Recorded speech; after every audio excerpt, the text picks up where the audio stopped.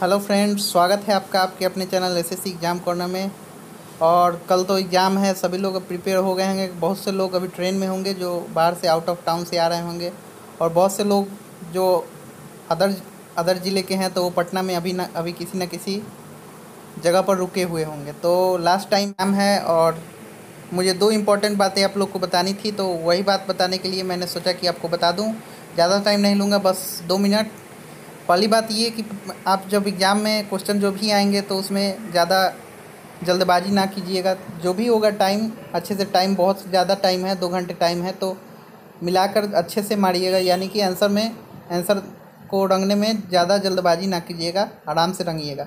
Next बात ये मैं बताना चाहता हूँ कि पहला जो ब्रेकअप होगा, जो पहले हिंदी का एग्ज़ाम है, दो घंटे का होगा, उसके बीच का जो गैप बचेगा उसमें प्लीज़ आप लोग से निवेदन है कि आप लोग अपने क्वेश्चन का डिस्कशन ना कीजिएगा कि मेरा कितना बना, कितना नहीं बना और कौन सा सही है मेरा, कौन सा गलत है।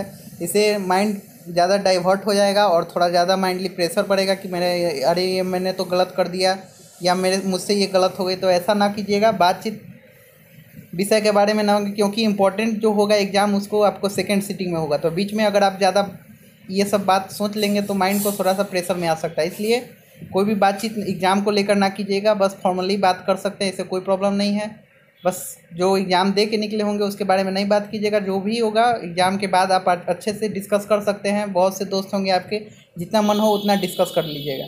ओके दोस्तों, यही दो महत्वपूर्ण बात आपको बतानी थी और all the best all student अच्छे से एग्ज़ाम दीजिए और आप किसी से कम नहीं है, इतना बात याद रखिएगा।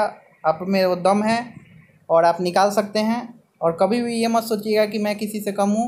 सब एकदम डिपेंड करता है आपके माइंड पर। माइंड अगर आपका कहता है कि आप एकदम अच्छे से निकाल सकते हैं तो हंड्रेड परसेंट आप आप में वो इफोर्ट है कि आप निकाल सकते हैं। ओके दोस्तों ऑल दी बेस्ट बाय जय हिंद